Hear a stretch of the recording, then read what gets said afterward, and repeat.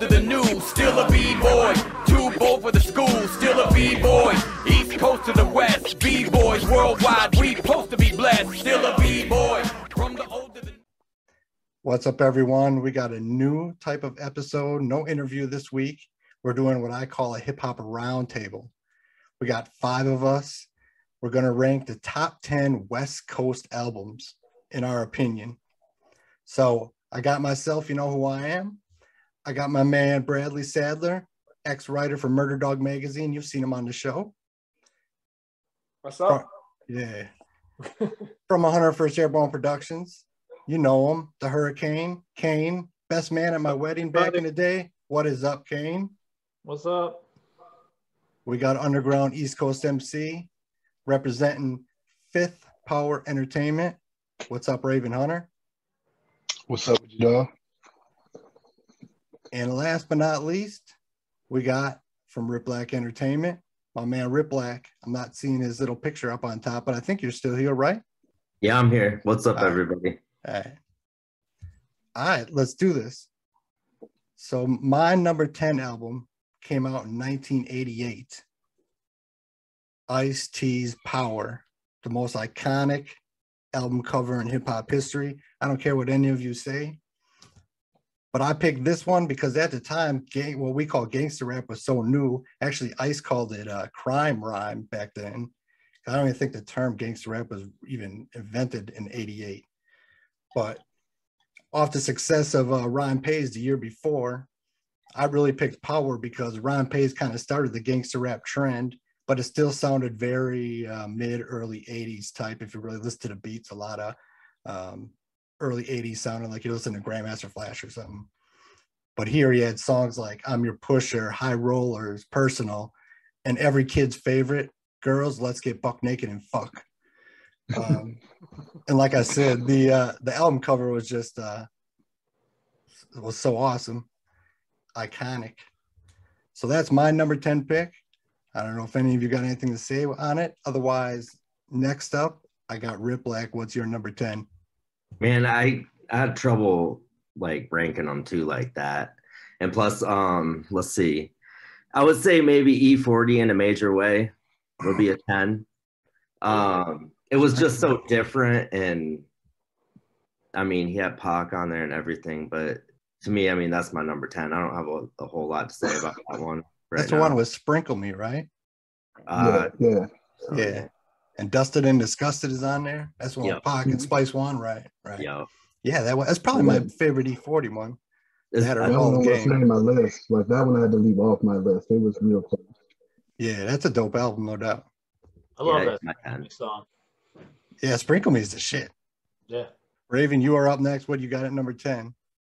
All right, so this was super hard. Um, I probably could have had 25 easy. Uh, my number 10, I went with uh, the DOC. No one can do it better. Um, I know that he wasn't originally from from California, but that's where he planted his roots and um, founded his career. Um, he wrote all the NWA and Easy E hits before that. Um, Dre had some of some of his best work, I think, and it really like the formula was the birth of that whole G Funk sound. So like, I definitely have to give uh, DOC number ten. Yeah, absolutely. That that was on my list of my short list that just didn't quite make it. And then I thought, well, he's originally from Texas, so that was what I used. But he's definitely I look him in as a West Coast artist, so I think that works. But DOC probably the biggest what if in hip hop history. He doesn't get in that car crash, lose his voice. He might go down as one of the best MCs ever. I think he would have. He kind of rivaled like Rakim and then with his lyricism. You didn't get a lot of that from the West Coast back then. So No. Yeah, DOC was a shit. And like you said, even Yeah. after he lost his voice, he was writing for the Chronic. He was Yep. writing, you know, all those NWA uh, records. Yeah, DOC was on my honorable mentions. Yeah, yeah, yeah, mine too. All right, Hurricane, what you got at number 10? I got too short. Get in where you fit in. You know, it was probably well, it was probably the second album that I heard that was so raunchy. The first one was um, nasty as you want to be, but it was just you know that that pimp sound, that um, that Oakland sound that I had never heard before. You know, I had never heard Oakland represented like that until Getting Where You Fit In. Oh yeah, the production from Ant Banks on there was just crazy. Ant Top- Banks top notch. get- yeah. Yeah. He doesn't get enough love. Ant Banks, Nowhere near enough. right? And that was another one on my list that just missed it. I was like 13, so blowjob Betty was like, It a shit, man. yeah, every 13 year old's gonna like Too Short rhymes, right? Uh, I, can, I, can, I can relate. I was like 12 or 13 myself. All right, last but not least, what you got, Bradley Sadler? Uh, I got the last one I wrote for uh, was DJ Quik. Quik is the name. Um, I, Yeah. I love that album, but it, it, it could be higher. Like we could argue that I didn't really rank them, but um, uh, one of my favorite. I mean, pretty much DJ Quik in the late '80s through the early '90s. Pre- you could have picked. I could have picked any album, but that was the first one. That's the one I was introduced to. Me and my friends would ride around, you know, playing that album, and so uh, it, it's classic. And he's he's done so much working with Tupac later, and um, he's still. I mean, the stuff he puts out. The last thing he did with Problem, uh, still one of my favorite. So uh, I had to include him in my top ten. Yeah, that's a classic album. Quik as the name. Yeah. Sweet Like Pussy was the big song off that album. Right, right. That's the one where he, uh, in the middle of his rhyme, he acts like he loses his place and he's shuffling the papers. Yeah. I thought that was the illest, illest thing to do. I Hell yeah. thought that was so such a interesting. Uh, I think tonight's on there too. That was that Right, was Tonight. that- tonight was the big single, which is that song is the Eight one Ball was on favorites. there. Yep. All right, I'm gonna do number nine. I doubt this one will be on anyone's list, but I, I could be wrong. I could be wrong. This is as West Coast gangsta as gangsta gets. South Central Cartel's Murder Squad album. Bro. This right here is West Coast personified. They not only the production and just the, the rhymes by uh, Havikk and Prodeje of South Central Cartel, but this featured a who's who of West Coast artists. They had songs with Ice T, Spice One, Ant Banks, Treach from Naughty by Nature. I know he's East Coast. Big Mike of the Geto Boys, Boss, the most gangster female you'll ever hear. Um, they had an album before this called In Gats We Trust, which is also almost as good. But this one I just love. Uh, there's song, song No Peace, Knock on Wood, Pass the Dank, uh, Ghetto Got Me Shady. It's just a great album. If any of you don't know it, you got to check it out. Um, you might feel like pulling a drive-by after listening to it because that's the vibe, but it's a, it's a great album. Bro, it's it's crazy. It's number nine on my list, man. That's the same fucking album. That's insane. It's awesome. Yeah, because I mean everything you covered, you know, Gunsmoke was killer, knock on wood. But Shakilla was one of my favorite female rappers, and Young Money from Young Murder Squad uh, was on the album like three times. Like I just I fucking loved it. Ice T killed that shit. Right, No Peace. That, no Yeah. Peace is one of my favorite posse tracks, maybe ever. I mean, Yeah. it's in my top Ama- 10. It's amazing, definitely. Such a dope album. I Yeah. don't know if you can get a better posse track than the last track on Geto Boys Till Death Do Us Part. You'd, you'd have to be pretty fucking good. That that is a great posse track. And then when uh Scarface comes in at the end, he just Oh. kills it. Just Yes. it's a return of the motherfucking dreadlock, putting fools in headlocks. I mean, he just kills it. Yeah. Well, I mean, um, the the posse track on South Central's "Gats We Trust," uh, gang. I think "Gang Team" is what it was called. It had you know Spice Gangsta One, Team. Tupac, Gangsta Ice-T. Team. Yes, Yeah. it's Tupac. Yeah. that was a killer posse MC Eiht, track too. MC Eiht was Yep. on that. Yep. That was a dope. Whoa, Tupac's on that Oh, yeah. posse track? That's pretty cool. Yeah. I didn't know that. It's fire, fire track. Yeah, that that uh gangster team. It's South Central Cartel, Ice T, Tupac, MC Eiht, Spice One. I mean, Yeah. Ooh. I think Ant Banks produced that track too, if I'm not mistaken. all right. Uh, since we know you're nine, what is up, Kane at number nine? I got Xzibit Man versus Machine. Um, Ooh, okay. I, I Over Restless? yeah, yeah, Huh? I do. Um, and I thought I could probably put it higher than nine, but I just didn't know what I was going to put it above. You know, I can just let it play. Um, when I was going through stuff and listening to it, like I listened to it like three times because I was like, this is just dope. Like, I put it on and do my work and just let it play. Yeah. Um, and you know, I don't think Xzibit gets enough credit as an MC. You know, everybody knows him as Pimp My Ride, but Right. he's Yeah. dope. Like, I really liked it. Yeah, Xzibit is a little slept on when people talk about you know some of the top West Coast MCs, and he's very consistent. Uh, he had a consistent run. I mean, my personal favorite is Restless, um, but Man Yeah. vs. Machine is a good album too. I think that what puts it over Restless for me is that uh, um, the song with Eminem on it. My name is called right. Yeah, dope song. hmm I, I forgot that song existed. To be honest, I'm gonna have to peep that out again. Yeah. All right, Brad, what you got at number nine, or what are you going to put at number nine? Uh, I'm gonna put Cypress Hill self-titled. Um, I, I, I- I had to pick a Cypress Hill album, and uh, I, I I dig the first one way. I mean, the the first one that was when I first started getting into hip hop.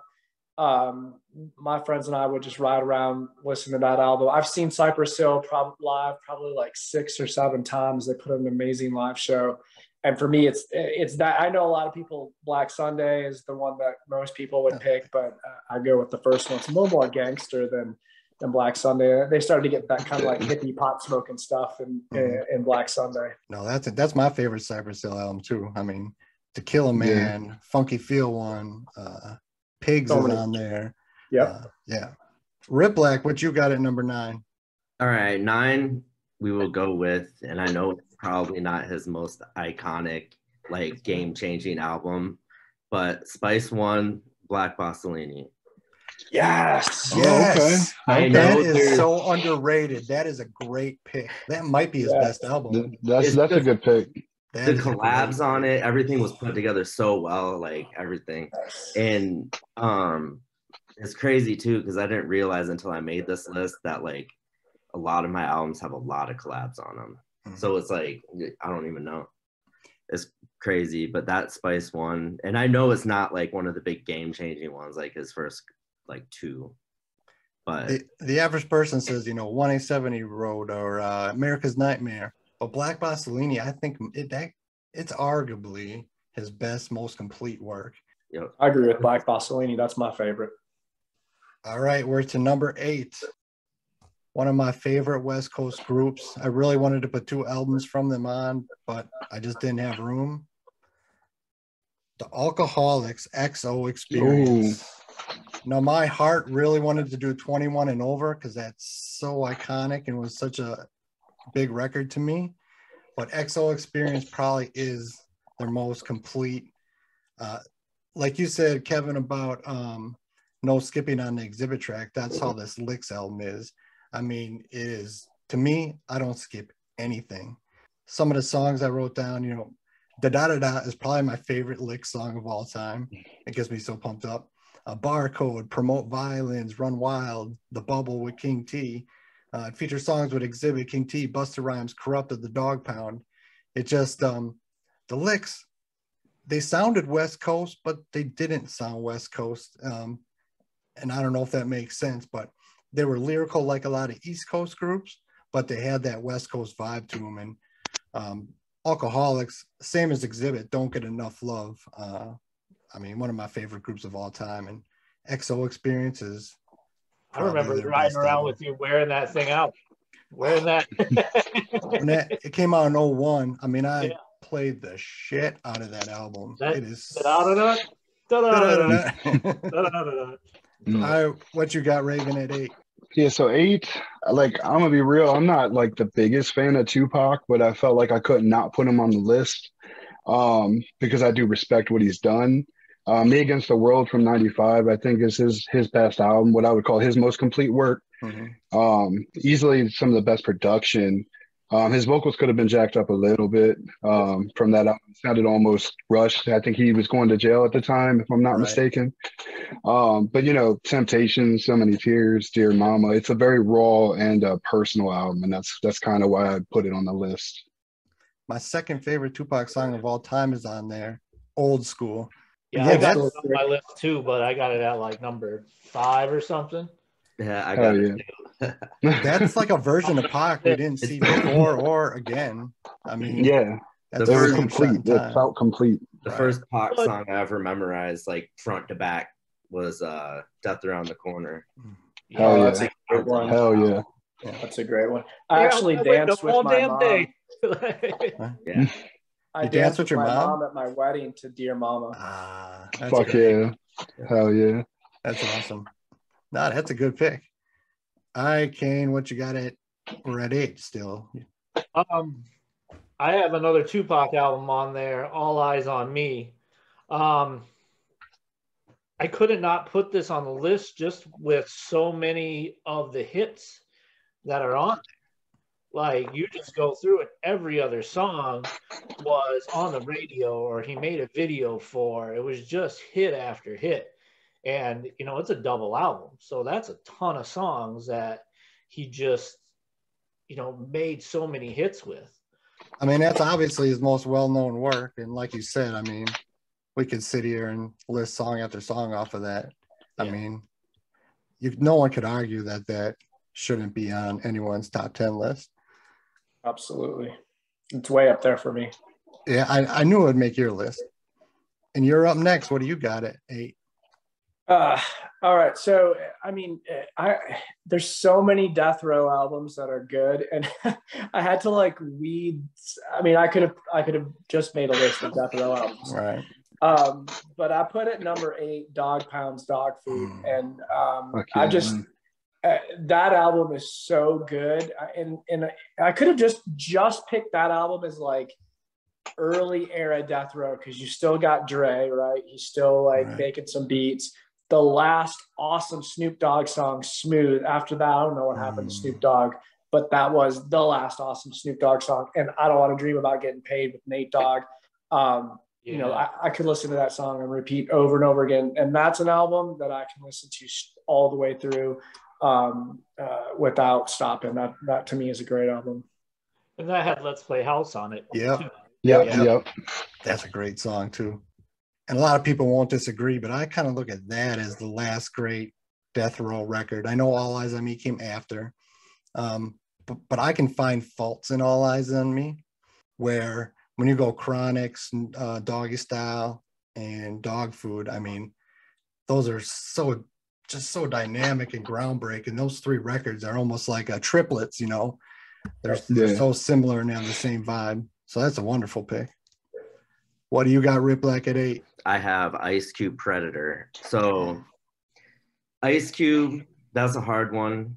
That's one that's why I didn't pick any like too short or like DJ Quik. I can't pick like certain ones, so I didn't pick those guys at all.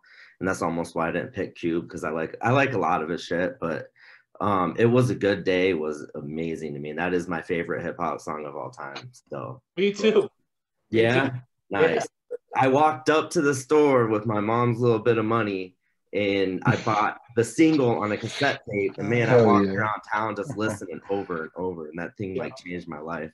Yeah. And uh I mean, it's got like check yourself. I don't, it doesn't have a lot of like big things on it, but Wicked. like just for the fact that it had, it was a good day on it and how bad, how much that impacted me. And it's Ice Cube. If he doesn't make this list for me, that's a sin. I don't, that album is my number 11 album. Like I I wanted to put it on the list, but Me too. I felt there was more complete albums that there are. Yeah. that you know There are. I, I like just- you know I like Wicked. I love Today Was a Good Day. You know I love Check Yourself, but you know there's other.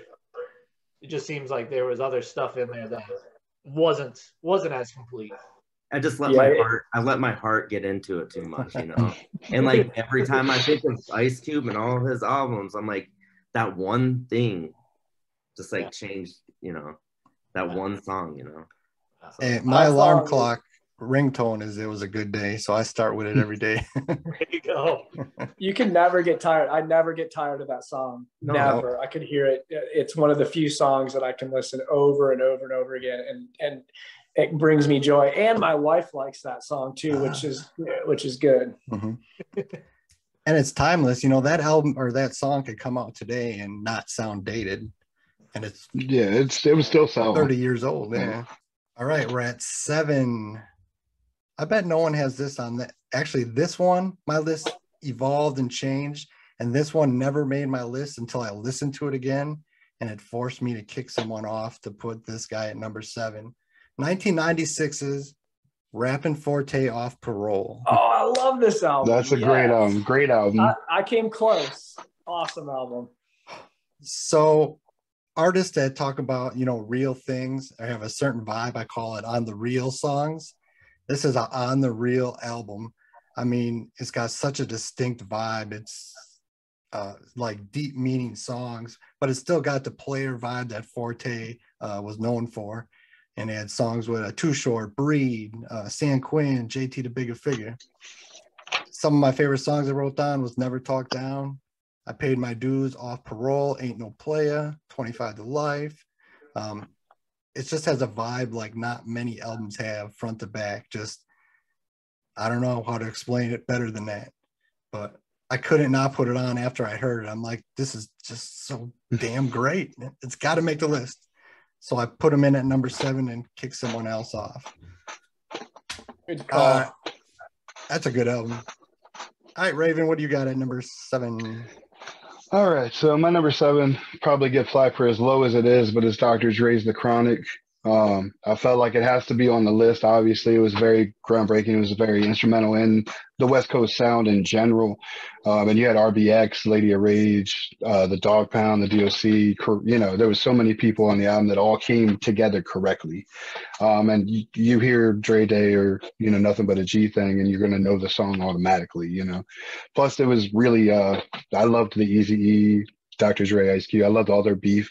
Mm-hmm. Um, I loved them as a group, but I felt I like battle rap, and I think that shit's fun. So I, I really enjoyed that aspect of the album too. I mean, no doubt it's it's iconic. I know that's got to be high in your list, Brad.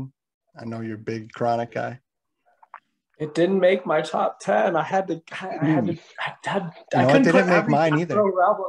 it didn't make mine either. It didn't make mine either you you asked me doggy style or the chronic, remember? And I told you doggy style of the chronic. I love the chronic though. Like and oh. I just had to make room for other things and I couldn't pick no every death row album. Right. Yeah, I just I couldn't I mean it almost made it just because it is what it is, but there's still some songs that I skip on the chronic, so that's why i didn't make my list. Uh, uh, yeah, I could see that. Right. But I mean, no doubt, it's one of the most iconic West Coast albums of all time. What do you got, Kane, at number seven? I got Dre 2001. Ah, uh, I okay. felt I couldn't leave it off the list because it brought a whole new group of kids to the West Coast rap. Like I remember when it coming out and thinking, like, you guys don't know who Dr. Dre is. You think like this is like, and they're like, this is so great, you know, and that's you know, everybody knew was getting to know who Eminem was, right. and um, it just was a very important album, I thought, in the West Coast uh, picture. I don't know the record sales, but I wouldn't be surprised if that outsold the Chronic. I mean that that was a big album when it came out. It was. It was huge. Beats are like I know it's Dre, but the beats right. are dope on it. Like every yeah. song, I'm like, damn, this is a dope beat. Damn, this is a dope beat and talking about collaborations, that had a lot of good collaborations on it too. Like you said, Eminem, Snoop was on, Xzibit yeah. King T. Uh, mm-hmm.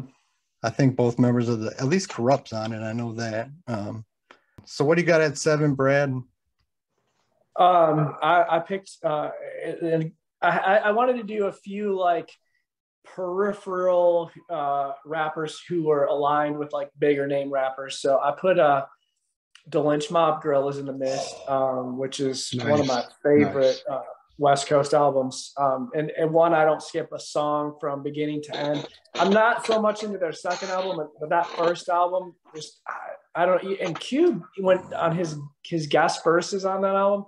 He just sounds on fire. I love the way Cube raps during that era. like you'll see, I picked Death Certificate later as my Cube album I think it's the same era. Just Cube, the his flow during that time period was awesome, and and those those guys that were um, in the Lench mob. I know, like I think one of them got put in jail or prison JD. for murder, but yeah. yeah, JD. I mean that, that, I don't. They're awesome to me. I, I, it's it's a great album. Well, and that's why the second one wasn't as good because they re- JD went to jail and they replaced him with uh, shoot, what was his name? Um, started with an M, but anyways, they replaced him and JD was the the bright spot of that group. But you're right. Yep. I actually took that off to put 4-Tay on. so it originally made it. I mean, you're right. There's nothing I skip on there. So that's a good one. I'm glad someone put it on their list. All right, Riplak, what do you got at seven? I have one that I can't even listen to anymore because when it came out, it was so big. Everybody listened to it, and I got sick of hearing it. And it's the same as Kane's 2001. Uh, But here's why though, because we waited so long for that to come out, and when it came out, it was yeah, it was, It was still fire. yeah, it was so good. But like nobody stopped listening to it. You'd be Yeah, going down the street, everybody's listening to it. Everywhere you go, to where I was like, I don't want to hear that song, and I man, I can't listen to that any of that. I might be able to listen to like one or two, maybe. I think one's got Kurupt. I think wasn't like Ho a housewife or whatever. You can't make a Ho a housewife. But I'm like huge Kurupt fan. He didn't make it on my list. I couldn't. I love Kurupt. Like I listen to him all the time. Kurupt, too. Dog food almost made it, but like, I, I don't know. I could just listen to any Kurupt at any given time, really. all right, coming up at number six in 1990. Too short, short dogs in the house. Yes, Now my- my- There you go. My heart Yeah. wanted to do uh, get in where you fit in, but I think this is the best version of Too Short, and I'll tell you why. Of course, he's most known for you know his his bitch and and explicit songs, but on this album especially, he had song the ghetto, uh, "It's Your Life." These what I call on the real songs, and those were the singles, and those are some of my favorite Too Short songs. He also featured Ice Cube on a song at a time when you didn't see a lot of collaborations. And I remember being like, oh shit, Ice Cube is on on this new Too Short. I think this is the best version of um, Too Short, and I think it's another iconic cover.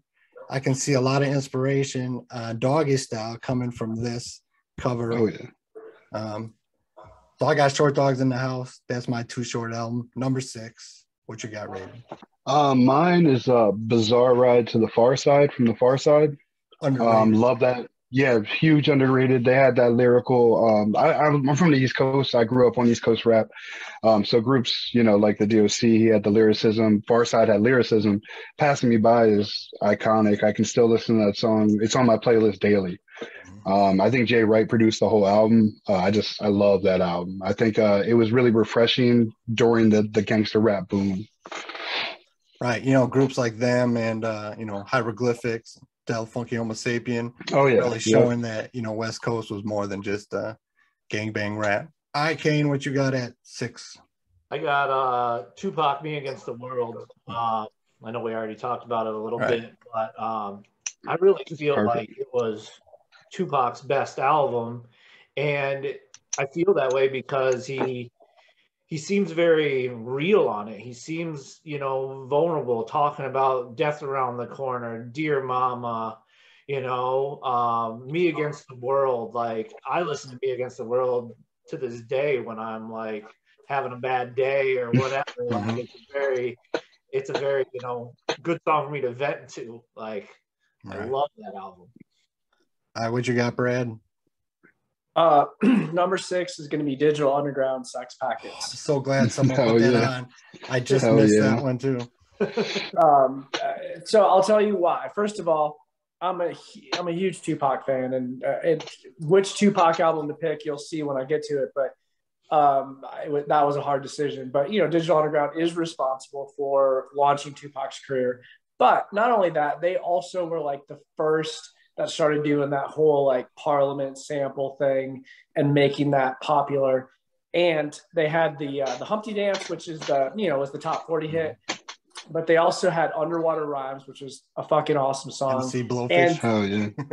and then hands down the best sex rap song ever written freaks of the industry that's it nothing beats freaks of the industry that's why I made my list Sure. Plus, it has "Do What You Like," which yeah yeah do what you like to one of my favorite things ever in a song is, you know, like after the rapping part on "Do What You Like," they start fading it for the, you know, radio stations. But if The you're on a stoop with your homies, we'll bring it back, and you know they bring the song back on. for Hell yeah. that was so creative and so great. Rest in peace, Shock G. I'm so Rest in glad. peace. I mean, uh, like Yeah, you said, great samples. That is a great album. Love when he says, uh, "If your feet stink, don't do what you like. Go wash your feet." Yeah, yeah, that's a great album. Great. Uh, what you got, Riplak? Six. Oh, this one's a little night and day from that one. Um, you might have heard of this fella before, Ice T, Seventh Deadly Sin. Ah, Okay. I was obsessed with that album, and like it just had such a different vibe. And um, I used to be so into like his movies, like his underground movies. I don't Mhm. know if you ever watched those, but I watched. I used to Yeah. buy every one of them, and like that album, I think there was stuff from that in his movies, and I I was obsessed with it. But then again, there's another like album with collabs all over it, and it just have like random people talking in the beginning and everything, you know. mhm. I don't know. I had to put Ice T on it because I love, I love his music. But to me, it's hard to pick anything else because that's what I listen to all the time. That's a very underrated album because the average person wouldn't even think of that as an Ice T. And actually, one of my favorite verses he ever did is a song on there called "God Forgive Me," and he just murders it. It he murders it like he's never murdered a verse before. If, if any of you have never heard that, it's, it's called "God Forgive Me," and it, it features two other people, but Ice just kills his verse. So that's awesome. I I like that pick, which puts us in the middle at number five this is another one I I didn't know which of his albums to put on, but I went to 1993's King T the Trifling album. Ooh. This is the very first appearance of the Alkaholiks. Tash wasn't in it yet, but it was J. Ro, E. Swift.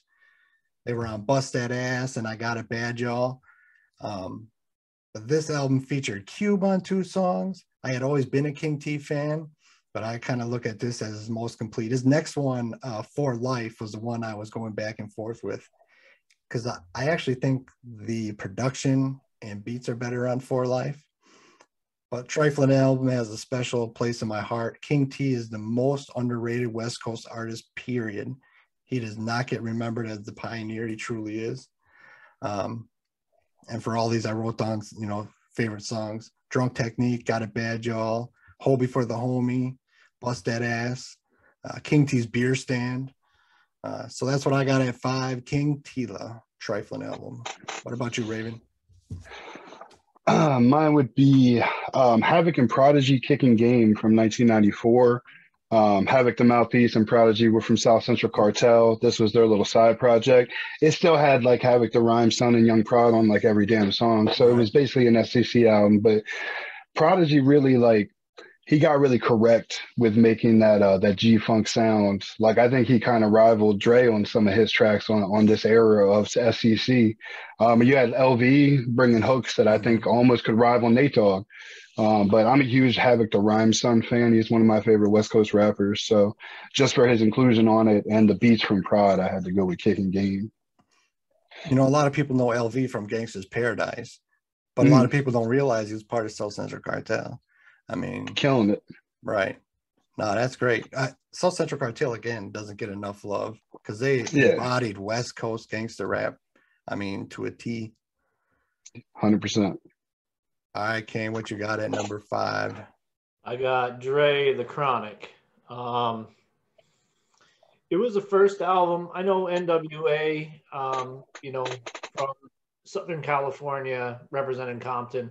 It was the first album that I remember that really was like, I'm from Compton. This is like, this is where I'm from, and brought Compton to the mainstream.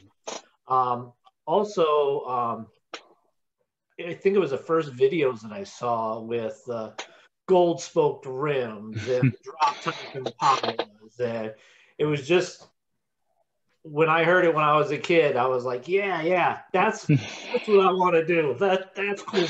Uh, I think it's the G Thing video where he opens the fridge and it's just 40s. Yeah. There's like 50, 40 ounces in the, in the fridge. That's all that's in the fridge. All right, what you got, Brad, at five?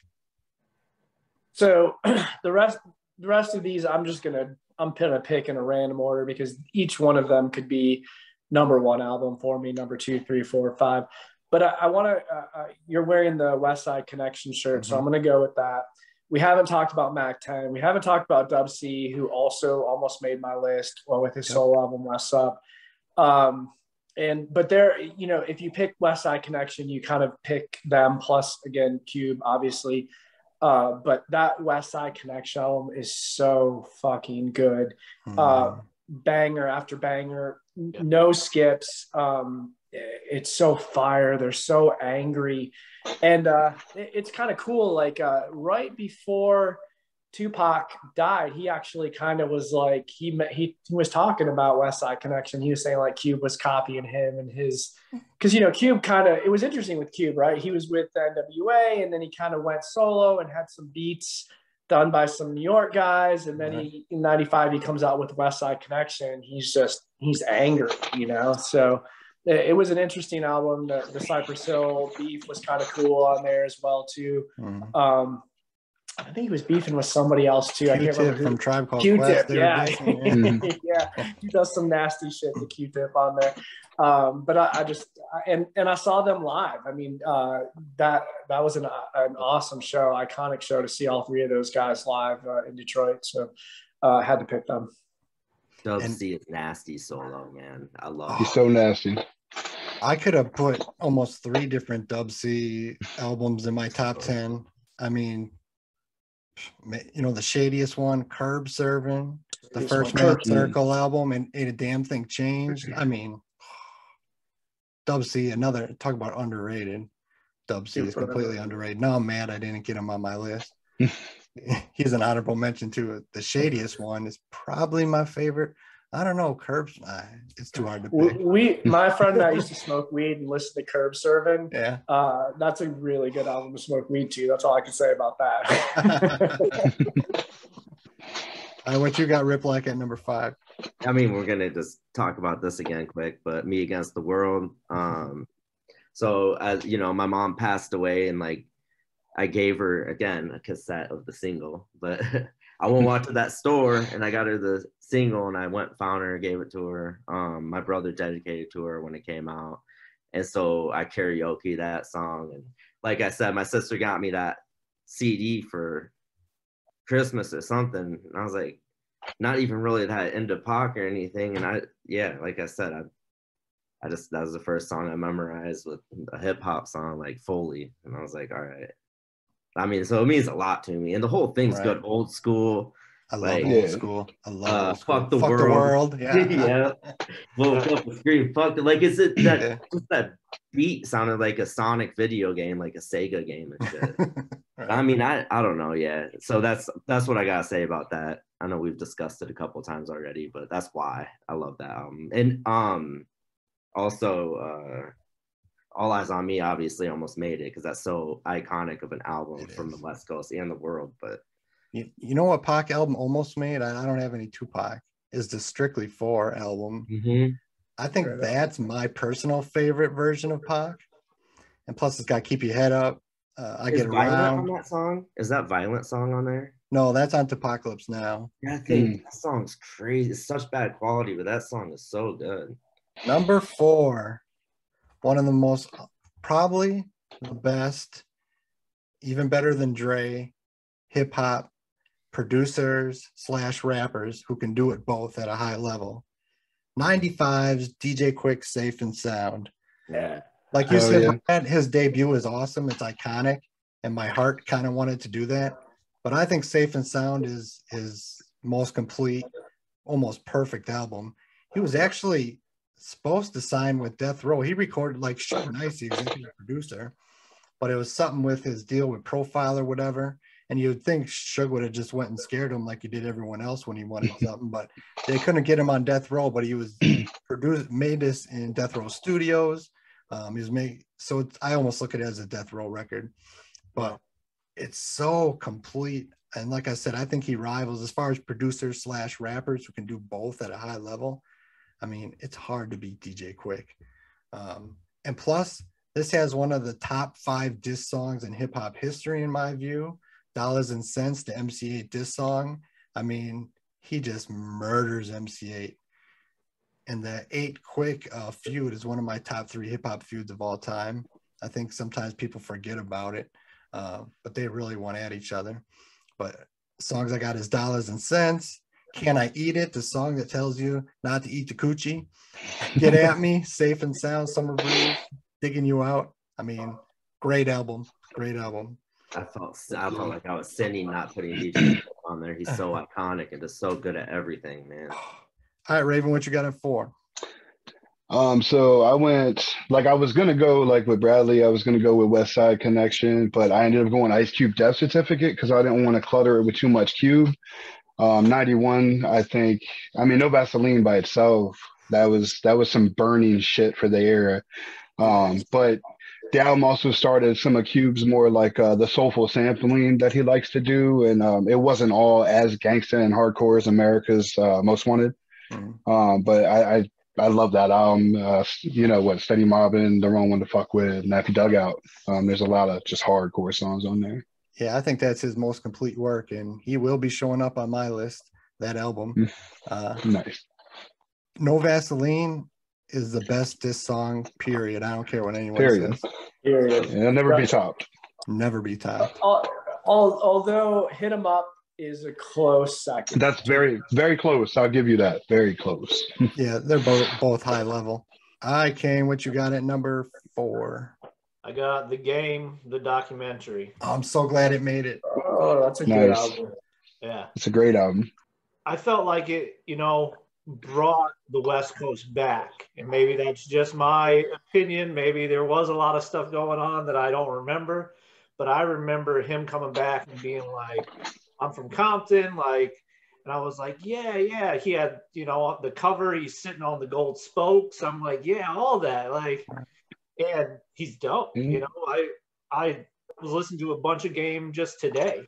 And I'm like, he's so skilled. He's so dope. He's, his lyrics are so cool.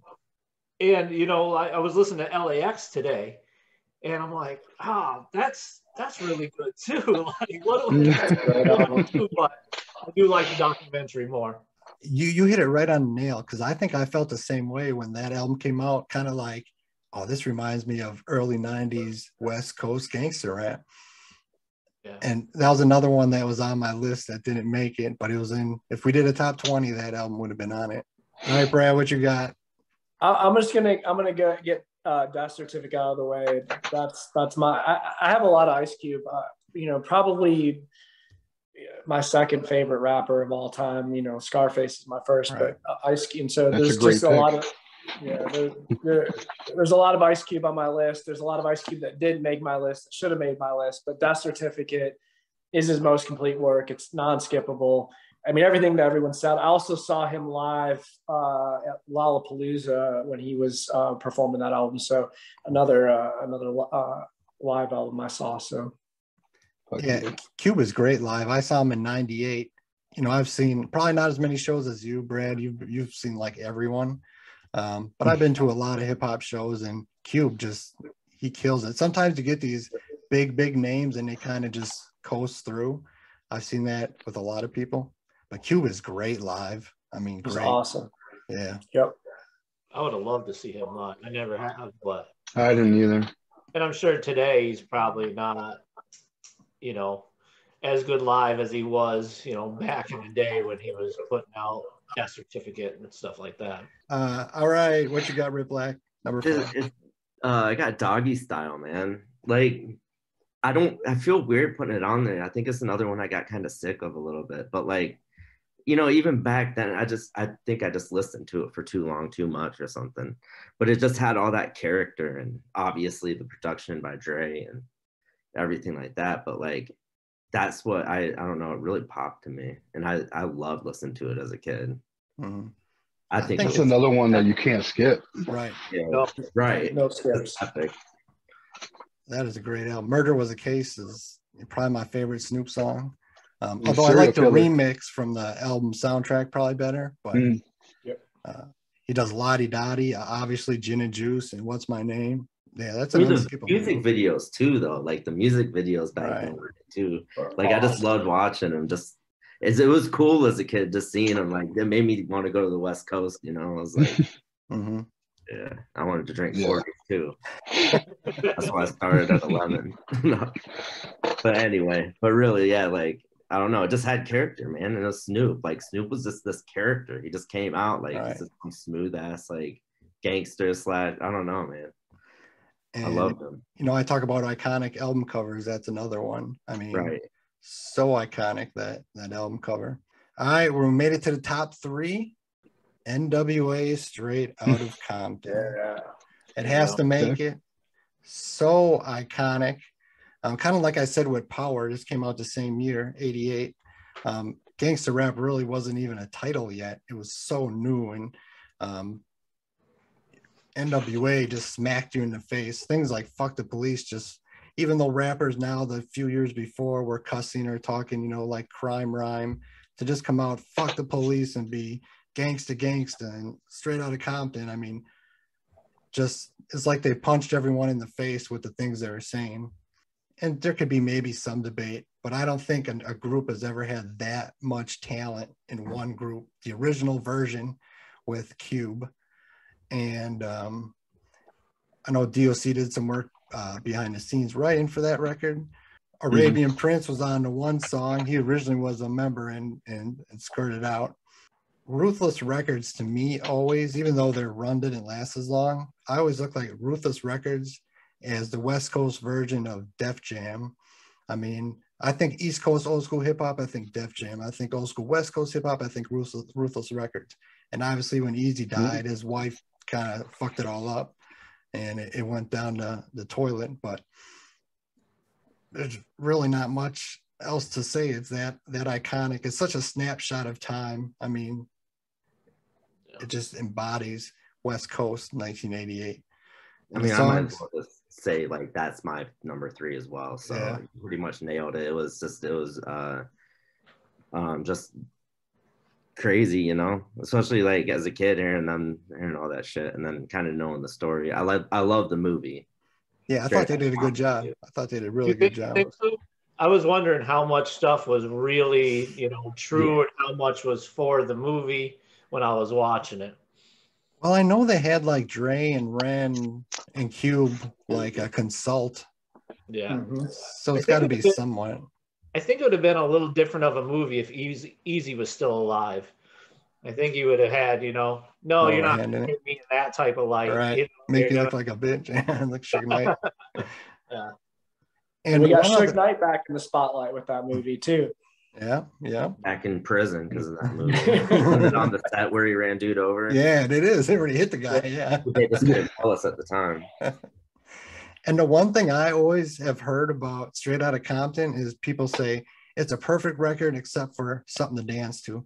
And I actually like something to dance to. That's the one song with Arabian Prince.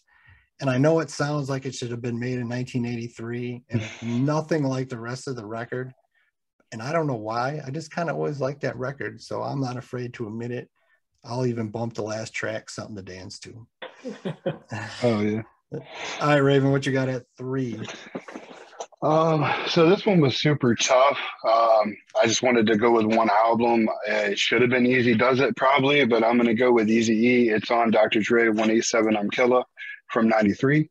Um, when I think about hard hitting gangster rap, that's the one CD that pops into my head immediately. Um, there was every song except for like Give Me That Nut was just a fire towards Dre and Snoop and anybody. And they gave us BG Knocc Out and Dresta, who were fucking awesome rappers on their own. Their album almost made my list as well.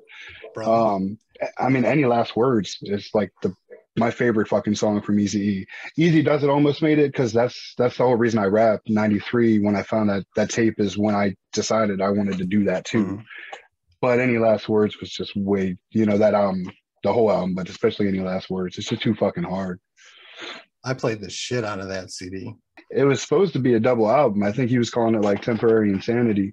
Um, but when Dre put out Dre Day, he had to get something out in response. So Right, the yeah. CP just it lit that shit on fire too. So, Yeah, that's probably Eazy at his best. That's probably Eazy Yeah. at his best. I came what you got at three. Uh, West Side Connection, Bow Down. Hmm. Um, I know we already talked about it some, but it just you just don't skip a song on it, No. and I really think um, they all add to each other. I think them being you know as big as they were individually, and then coming together and meshing so well together to do that, uh, amazing. Yeah. Awesome, awesome. We didn't talk about the Nine Inch Nails sample in that in that record Right. too. It was pretty cool that they did that. Yeah. Yeah, that's a great album. I mean, as gangsta as gangster can get, that was that Connection album. All right, what you got, Brad? Um. All right. So uh, I'm gonna go with. Uh, geez, this is tough. I'm gonna go with Doggy Style for my number three. Um, the uh, you know the Chronic didn't make the list, and that's I couldn't pick every Death Row album, but Right. I, I didn't pick the Chronic because I do skip some songs in the Chronic, but the Chronic is the album that got me into hip hop. But Snoop Dogg's Doggy Style is an album for me. and I never got tired of. it. I probably played it as much as uh, as anybody, and uh, re- on repeat for years. In fact, in college, they all my friends called me Snoop Dogg because that was all I did was listen to Doggy Style. I just I, I love that album. Snoop was fucking cool as hell. Um, uh, the, he raps so well. The beats were awesome. Um, uh, it, it just it's an incredible. Uh, it, to me, it's it's the the best death row. Uh, well, no, it's the best death row. Like that first three era of those albums. Um, so I had to include it in my uh, in my top ten. I love it.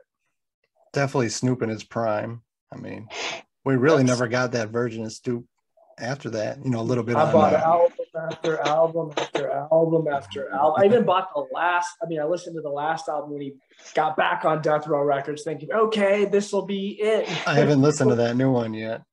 It, it's not. Good. It starts off strong. It starts yeah, it off does. strong. First four songs are pretty good. Yeah, you're right. Yeah, And then it's they sound like- classic, but then it just goes to hell.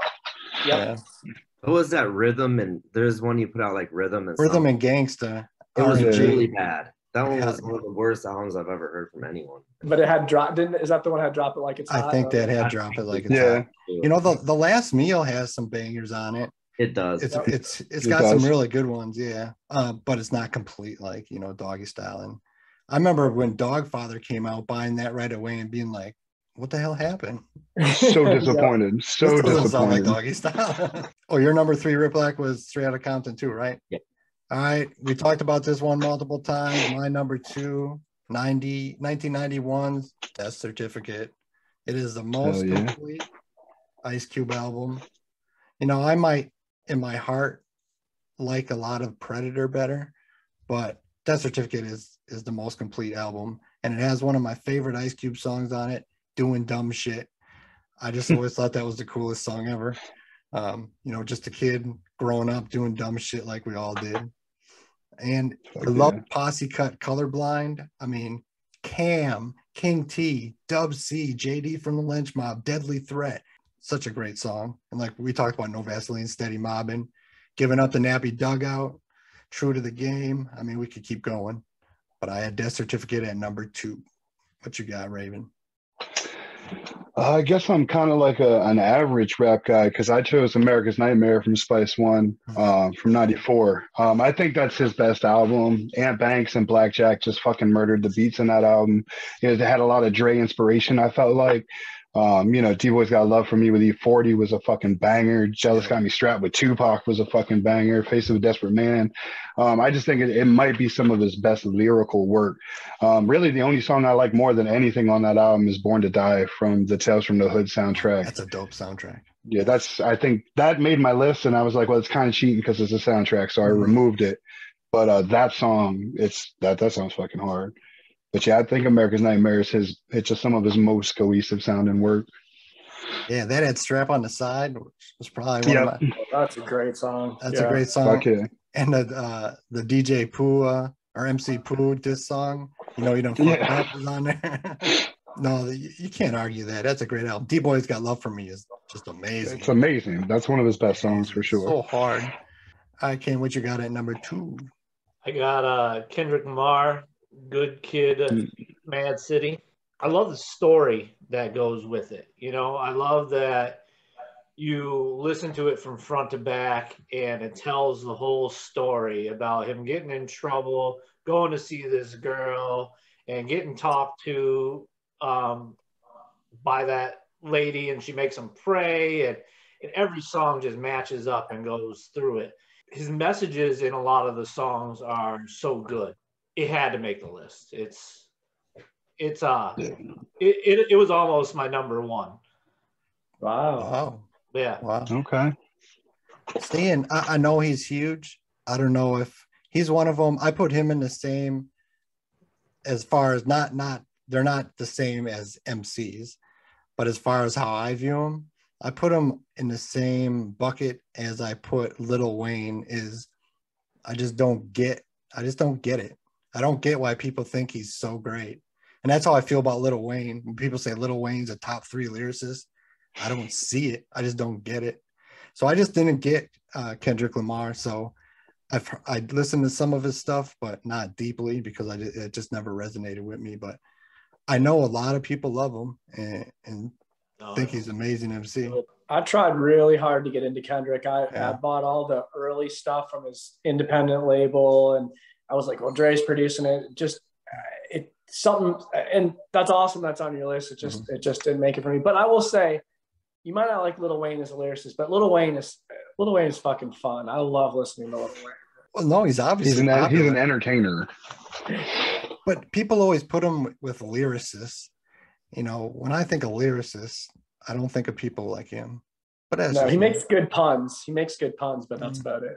well. What do you got at number two? Talking to me? Yeah, yeah. I guess I should say right. who I'm talking to. I don't know who you're talking to. Can't you Um, see who's on my screen?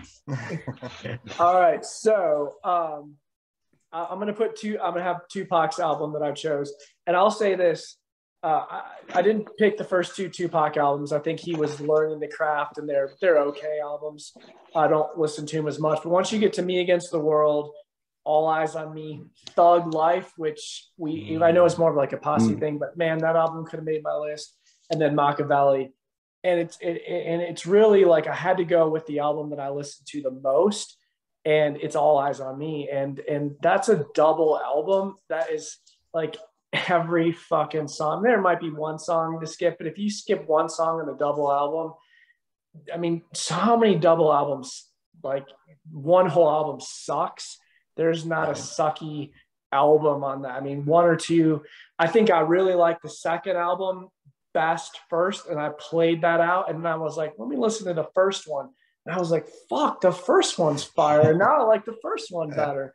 So, um, and and then uh, how I got into Rappin' 4-Tay was only God can judge me. That his verse on that album is so fucking good. That song, that song is my favorite Tupac song. So I was like, who is this Rappin' 4-Tay guy? And I went and bought off parole, and that's how I got that album. So, um, so I chose All Eyes on Me. I, I, I'm the the uh, typical average rap fan that chose that one. No, it, it's his most iconic record. You can't argue with that. All right, Riplak, what you got at two? All right, so I had 2001 already, but you can't have that without having the Chronic, and that is my number two. It was on honestly, it was my number one for a little bit, but I changed it. I just yes, it was just like like when you were doing the K Reno interview. It's ahead of its time with production and everything. Like It was. that's something we weren't ready for, and it came out, and it was. I mean, that's what led up to Doggy Style and everything. I mean, it was just iconic. And the Mhm. Chronic was so well planned. Like, where does he come up with these artists he has featured on him all of a sudden? And he has Out of all good nowhere, right. He worked really hard before he put that out. You can tell Right. a lot of preparation. Yeah, it's cool. There's like a like a hidden track or bonus track that's not listed on the on, on the album, and it's a it's an awesome track right at the Mhm. end. That um, bitches ain't shit, or I don't even know what it's called, but it's Right. that's that, and Snoop's Snoop's verse on that that that one is is awesome, and then the one with Bushwick Bill where he like does the intro and Intro, the outro. Um, that track is fire too. Like everyone is so um, just that, that's one of my favorite hip hop tracks of all time. All right. This all led us to number one. And which won't surprise anyone. My number one, the greatest album of all time. I don't care what anyone says. 1991's Ice T Original Gangster. Mm. This album literally changed my life. This is the album that made me want to rap. I mean, I was writing, so this came out in 91. In 1990, I did write a rap about the Super Bowl with the Bills and Giants. And it was like a Giants diss song because I liked Thurman Thomas. Um, but this is when I kind of started getting serious. And I was a big Ice T fan before this, but this is just Ice T perfection in, in my mind. This is one of those tapes that, you know, when they start tearing because you're looking at the lyric sheet so much. This was one of those tapes where you couldn't even see the writing on the tape anymore. This was just a tape I played nonstop. and and this isn't a slight at like NWA, but to me, NWA were street reporters. They were reporting what was happening on the street, what these people on the street were doing, and they were great at it. The maybe the best at it. But to me, Ice T was that guy on the street who was doing those things. You believed he was that hustler, he was that pimp, he was that gangster. And OG is just is just perfect in, in my opinion. It'll always be my favorite album. Um, nothing will ever come close to it. And yes, it had the big hits, New Jack Hustler and OG Original Gangster. But anyone is not totally familiar with this album, you got to check out Midnight because it's a prequel to his uh, hit Six in the Morning. It starts at midnight. He goes through all this shit. And the last line is the first line of Six in the Morning. It was so fucking clever. I mean, I can remember hearing that for the first time as a kid and the light bulb going off. I'm like, oh, holy shit, that's so amazing. So OG will always be my favorite album. I got the tattoo and even a Ice T OG tattoo. I was surprised you didn't have more Ice T on your list. Well, that was a problem. I didn't want to have it be all Ice T because it could have. I could have easily put a couple more Ice T on it, but I was trying to diversify. What do you got, Raven? Your number one. All right, so I scratched off Ice T Original Gangsta uh, which was originally going to be number one. It's it is one of the most just perfected Ice T West Coast albums. Period. Um, but I went with South Central Cartel and Gats We Trust from 1992 or 1993. Um, same reasons I loved Kicking Game and Murder Squad Nationwide. Uh, Prodeje makes amazing beats. Um, yeah, what Havikk, Havikk the Mouthpiece made some beats. Um, but you got tracks like Bring It On, Gang Stories, Gangsta Team. Um, it's an SCC thing, the uh, original version. Like, is Ice T and them were on the album too. So it's I don't know. It, to me, it's it's one of the best examples of just well-rounded cross between G Funk and gangsta music from the early '90s. Um, those beats I would have put up against Warren G's or Daz's any day. So, yeah, like we talked about before, Gangsta Team just you gotta yeah. check that out, Brad. I, it's just amazing that song. All right, Kane, what is your number one? Number one is Snoop Dogg Doggy Style. Um, still just a complete front to back album. You know, it comes on on the shuffle, and every time I shut the shuffle off and let it play from wherever it starts all the way to the end, it is it is a complete album. I love the skits, the W balls that yes, I and just the uh, the whole G Funk thing that he brought, and it just it's when I think of West Coast rap, I think of Doggy Style. What do you got for your number one, Brad? Um, all right, so I, I chose. So we, I told you I was listening to NWA, and my choice was Eazy. And I, I and I had I was like, okay, is it straight out of Compton or Eazy-Duz-It? And I went with Eazy-Duz-It. And uh, I, it's a, I had an interesting kind of way to get to that number one. Um, when I first started listening to hip hop, I it was Dre who got me into hip hop. I didn't know dick about NWA or Eazy, and and to me, Eazy was a punk, and I didn't oh, listen to his music, so I missed that. I missed that EP. I was like, I'm not buying that fucking EP because this guy Eazy, he's a punk, you know. And um, uh, I ended up picking up Eazy-Duz-It. I I was out with my friend and and a bunch of people have been like, Eazy-Duz-It is the best hip hop album. I was like, no, Eazy's a he's a bitch, he's a punk, whatever. but for some reason, you know, I was at the record store and I was like, ah, there's the record. I'll just buy it and listen to it. And I put that CD in and I was like, oh, this isn't bad. Hmm. and then listen to it more and more and more. I'm like, holy shit. And to to this day, if I think about do I want to listen to NWA or do I want to listen to Easy E? I go with Eazy-Duz-It.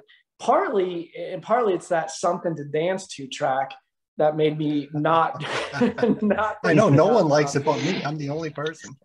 I know. I'm like, if it wasn't for that track, I might have gone with Straight Outta Compton. But I don't know. Eazy-Duz-It.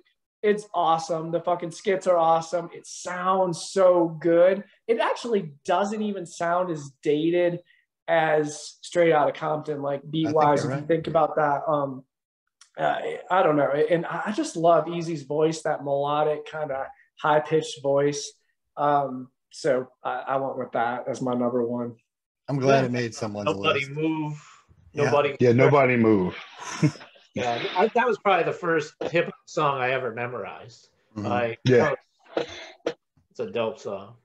Right. no more questions was the shit too.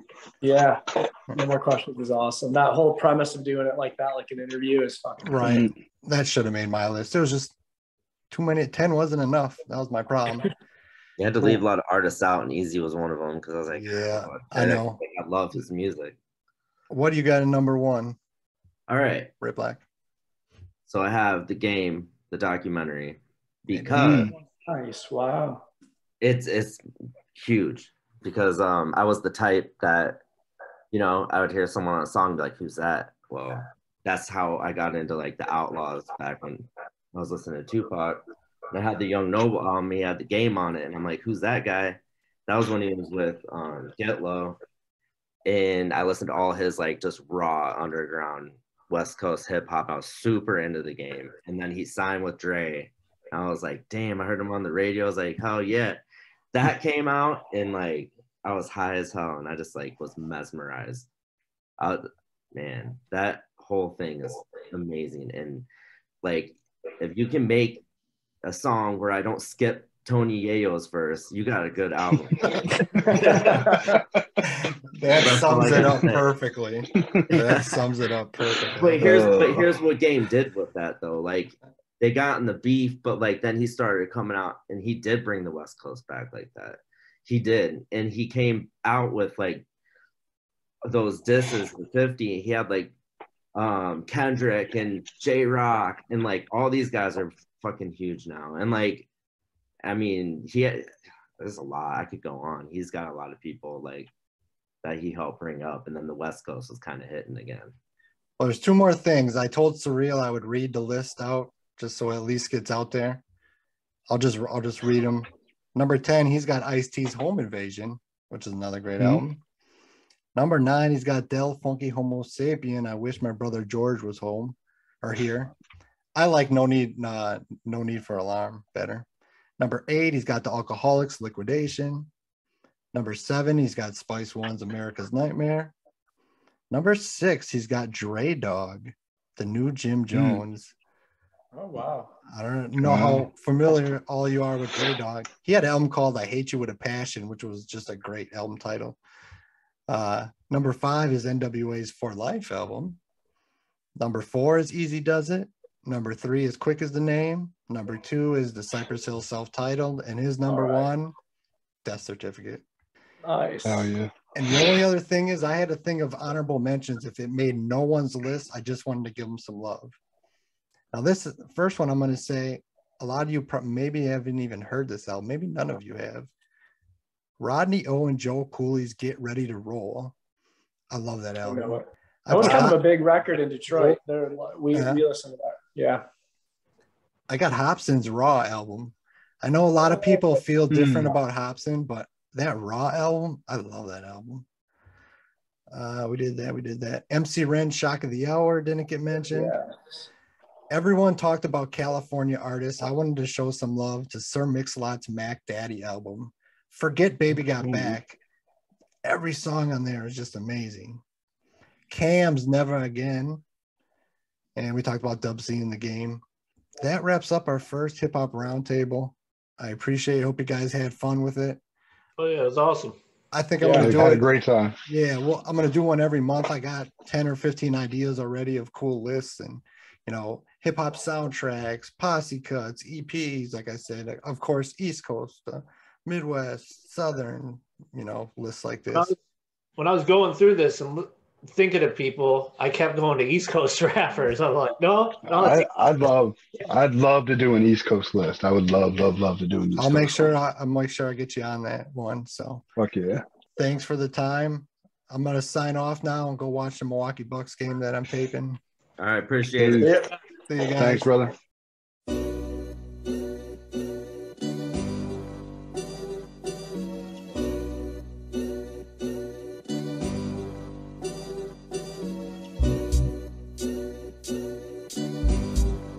Surreal the MC, Surreal the MC. Rearrange, rearrange.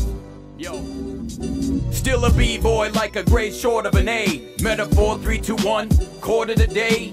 More to display, keep the hoarders away. Grabbing mics like cranberries with an ocean of spray. Old school like KFC, just get in the van. Streaking Snoop's Ren's hat, don't mention it, man. Head spin, back break, neck speed, pop lock, jaws drop, fresh fest, bomb squad, Hank shot. S you make no sense. What you trying to say? Pay to play, we outside just dying to play. I said play twice, though three times when I rhyme. Off topic again, it's the sign of the times, finally mine. Surreal? Me, myself, De La Soul, Bud Ice with snowballs, yo, I'm way too cold. Still a B-boy for life, till death do us part. Come back, spray paint, real fresh from the start. Still a B-boy, from the old to the new. Still a B-boy, too bold for the school. Still a B-boy, East Coast to the West. B-boys worldwide, we supposed to be blessed. Still a B-boy, from the old to the new. Still a B-boy, too bold for the school. Still a B-boy, East Coast to the West. B-boys worldwide.